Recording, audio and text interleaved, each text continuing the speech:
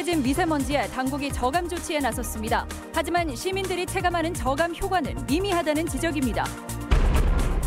전직 유도 선수가 고교 시절 코치에게 성폭행을 당했다는 주장을 제기했습니다. 이번에도 체육계의 뒷북 대응이 도마 위에 올랐습니다.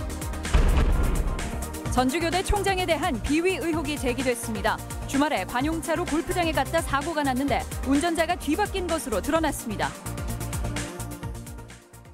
여러분 안녕하십니까? 전주 MBC 뉴스데스크입니다. 갈수록 심각해지는 미세먼지에 파란 하늘 보기가 쉽지 않습니다. 극심한 미세먼지가 연일 기승을 부리고 있는데요.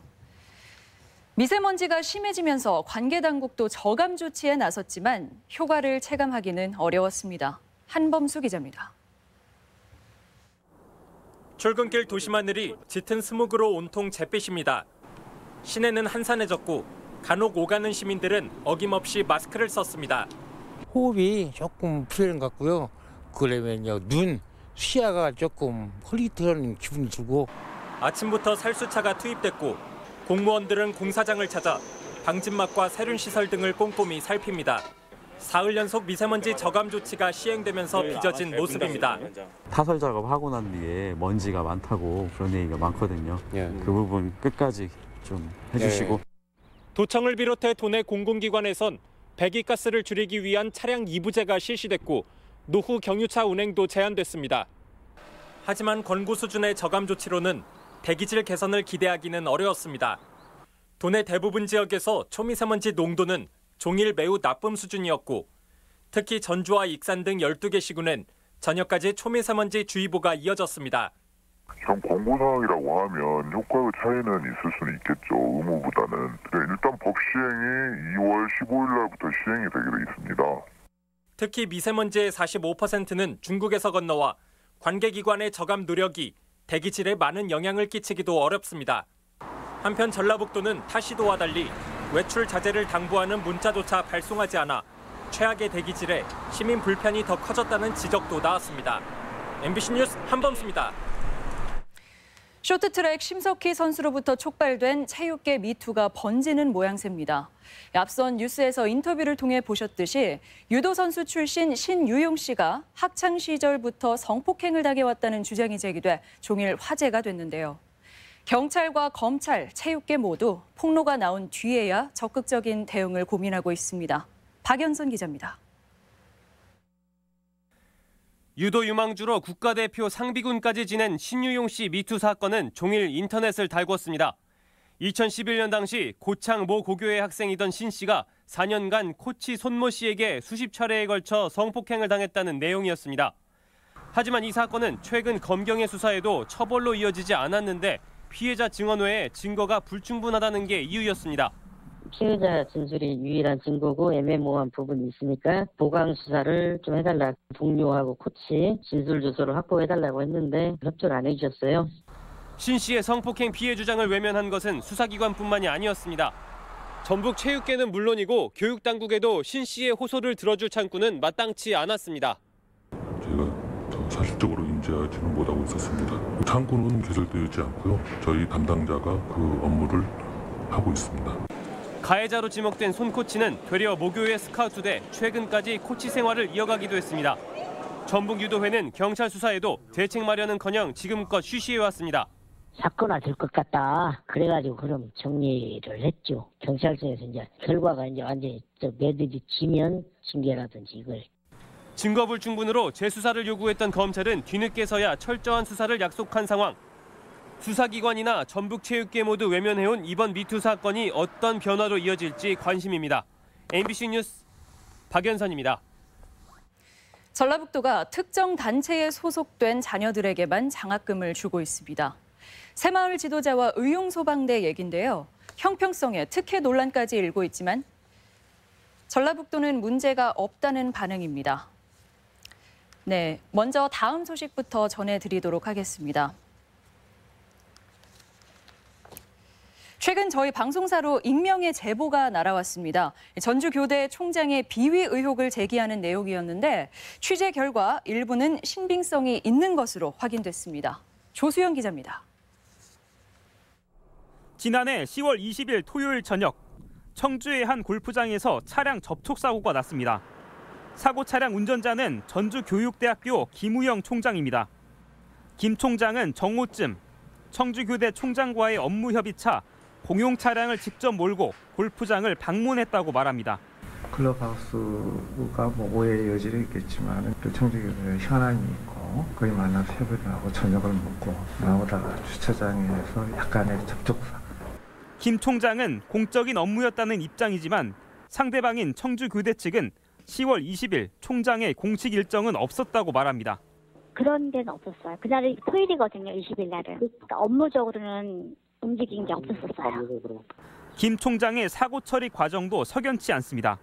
사고 당사자가 김 총장이 아닌 운전기사로 돼 있는데 기사는 당일 골프장에 동행하지 않았습니다. 그 총장님이랑 같이 그렇게 그 한 부분에 대해서는 제가 이렇다 저렇다 말드릴 부분이 없다는 말씀이에요. 김 총장은 관용차라 운전기사가 사고 처리를 한 것뿐이라며 의도는 없다는 입장입니다. 이 보험은 누가 있는가가 별로 중요하지 않아요. 그러니까 누가 운전했던 보험은 처리하게 돼 있기 때문에 거기에 뭐 무슨 위계에 의한 뭐 그런 건 아니에요. 법조인들은 보험 서류에 당사자 이름이 바뀐 건 위법 소지가 있다고 말합니다. 공적인 업무가 아닌 사적인 업무로 사용하다가 차, 사고를 냈다고 하게 되면은 보험금 지급 여부뿐만이 아니고 어, 법적인 문제도 발생할 여지는 있다. 김 총장은 이 밖에 총장 수행 경비를 학내 재정위원회 승인 없이 매달 45만 원씩 올려 지급받아 오다 교수들이 반발하자 최근 반납하기도 했습니다. 아예 반납을 안 해야 문제가 없다고 어, 얘기를 하는데 사실 뭐 이런 거 자꾸 떠들고 귀찮, 귀찮잖아요. 전주교대 교수협의회는 학내에서 제기된 총장 비위 의혹에 대해 적극적인 진상 규명에 나설 방침입니다. MBC 뉴스 주수영입니다. 네, 진행에 혼선이 있었던 점 사과드립니다. 이번에 전해드릴 소식이 전라북도가 특정 단체에 소속된 자녀들에게만 장학금을 주고 있다는 소식입니다. 뭐 특혜 논란까지 일고 있지만 전라북도는 문제가 없다는 반응을 보이고 있습니다. 김한광 기자입니다. 전라북도가 지난해 도내 새마을 지도자 자녀 67명에게 지급한 장학금은 9천만 원에 이릅니다. 올해도 같은 금액의 예산이 편성됐습니다. 지난 1975년 관련 조례가 제정된 뒤 벌써 44년째입니다. 부모가 새마을 지도자라는 이유만으로 도와 시군에서 절반씩 혈세를 부담해 장학금까지 주고 있는 겁니다. 도내 의용 수방대원 자녀에게도 27년째 해마다 장학금이 지급되고 있습니다. 지난해만 700명이 넘는데 5억 원 안팎의 재원은 전액 도비로 지원하고 올해도 5억 2천만 원이 넘는 예산이 잡혔습니다.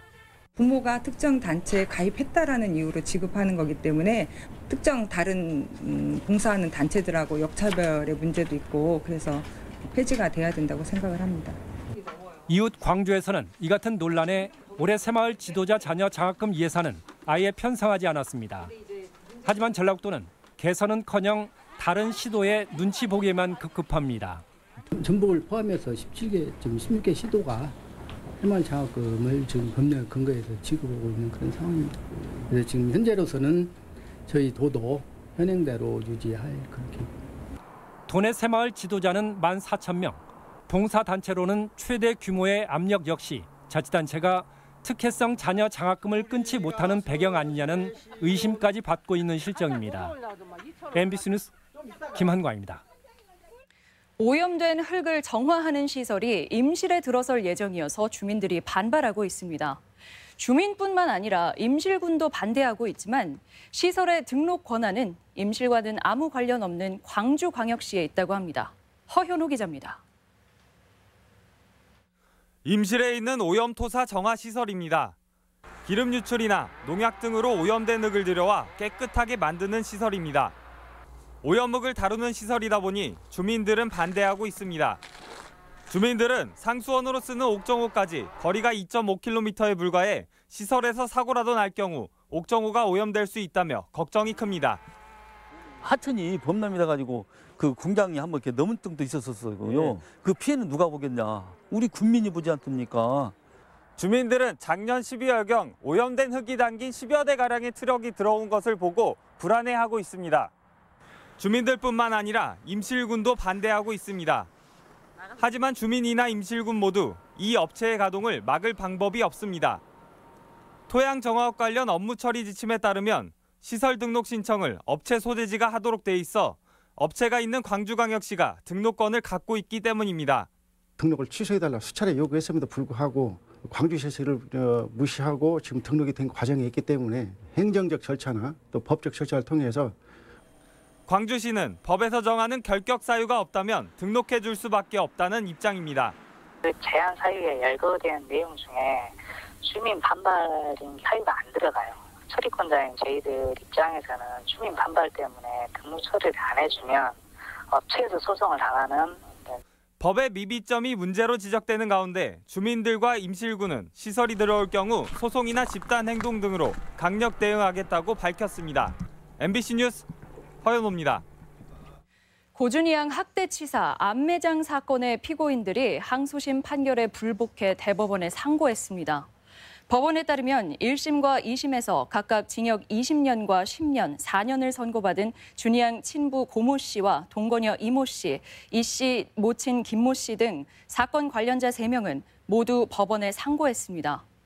이들은 지난 2017년 4월 고준희 양의 발목을 밟아 숨지게 하고 시신을 야산에 안매장한 혐의로 구속 기소됐습니다.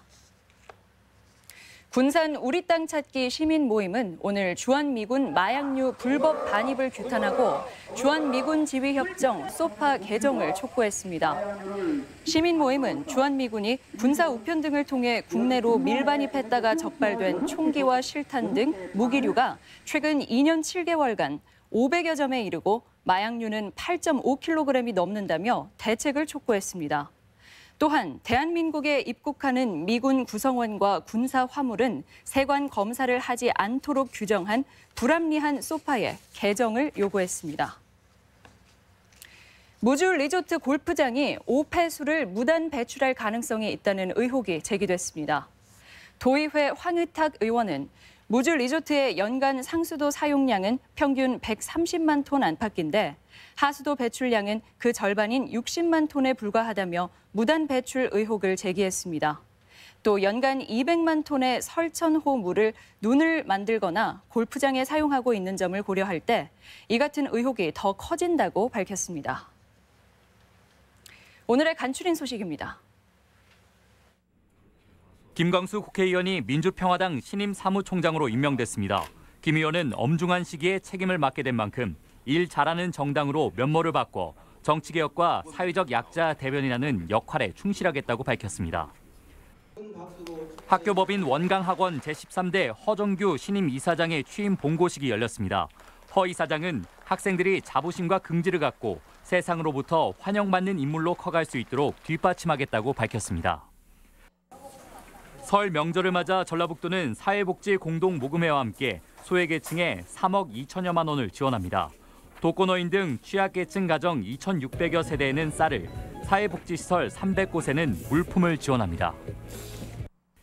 2019학년도 평준화 일반고 학교 배정 공개 추첨이 내일 도교육청에서 실시됩니다. 추첨은 전주와 익산, 군산 지역 합격자를 대상으로 선지원 후 추첨 방식으로 실시되며 결과는 금요일 홈페이지를 통해 공개됩니다. 간추린 소식이었습니다.